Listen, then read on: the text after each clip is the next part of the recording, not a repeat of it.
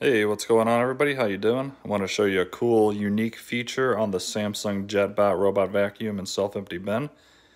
I think this feature makes it one of the best self-emptying robot vacuums on the market. So this has a little lever that pulls this open as it's sucking out the debris. That's this right here. Uh, as you can see on the phone here, I can't empty it because there's a magnet built in here. And I can trick it by placing a magnet here. And then, and then empty the dust. You can see that move.